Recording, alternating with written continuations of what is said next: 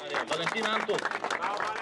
Детето на ЦСК Валентин Антов напуска клуба на сърцето си. Едва 20 годишен защитник номер едно за 2020 година си осигури билет за едно от най-добрите футболни първенства – серия А.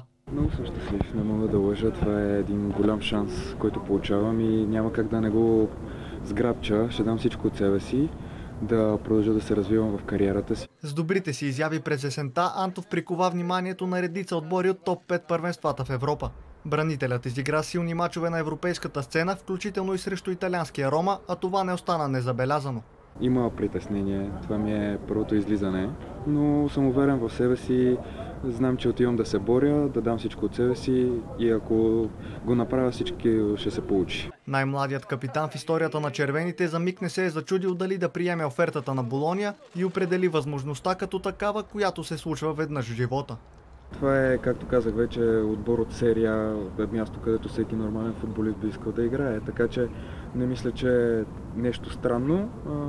Не беше и дълго времето, нито го имах, нито имах нужда от него, за да кажа да. Бруно Акрапович не скри похвалите си Камантов и заяви, че отборът губи много ценен футболист в негово лице. Загубих един много добър играч. Загубих един много добър играч. Добре се напасна в новата ни схема на игра.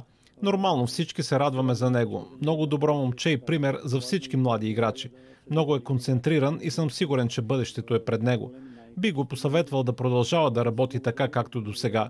Мисля, че ще се справи с новото предизвикателство.